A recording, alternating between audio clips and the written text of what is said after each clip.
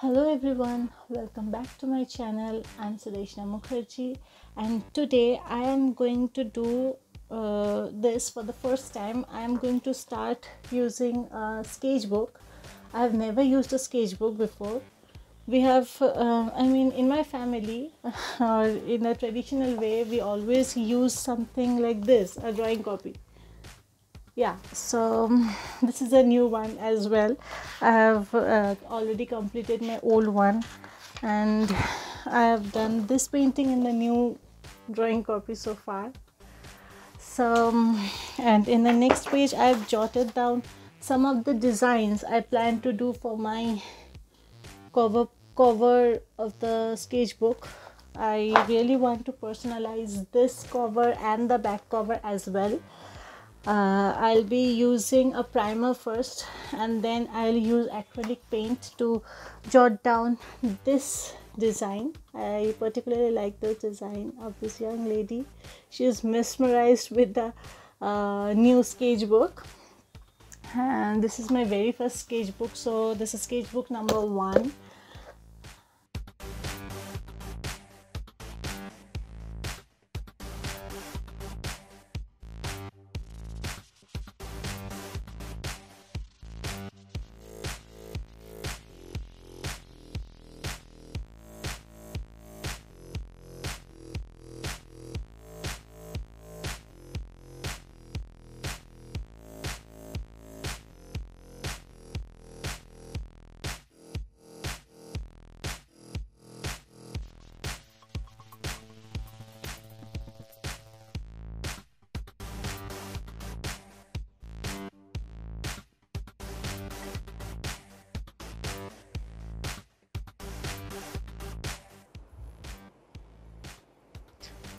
is always easier to work on a white surface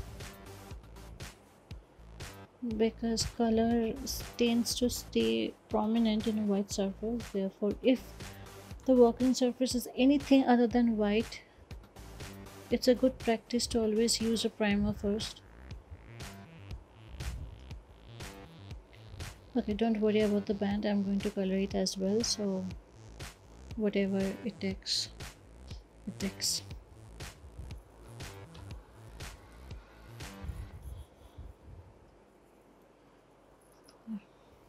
I'll apply a second coating to it. Then I'll let it dry before I start jotting down my painting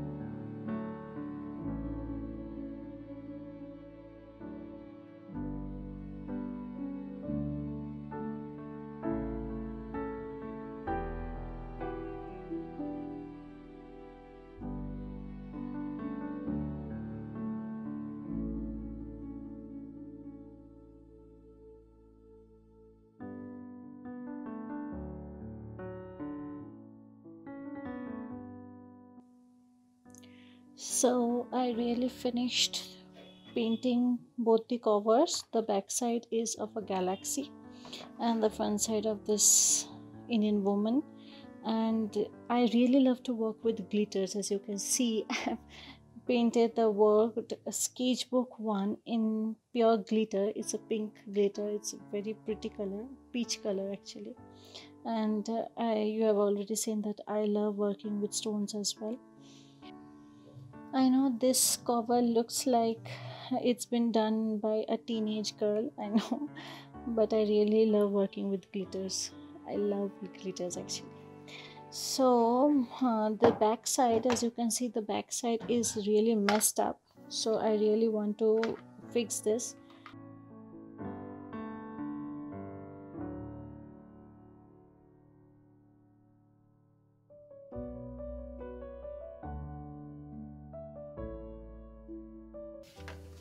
I'm going to cut out this shape and I'm going to stick it on this back side of the paper both side